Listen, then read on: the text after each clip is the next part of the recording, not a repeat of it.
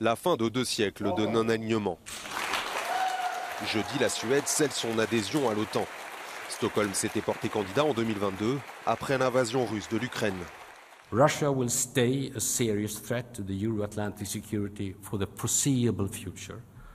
It was in this light that Sweden applied to join the NATO Defense Alliance.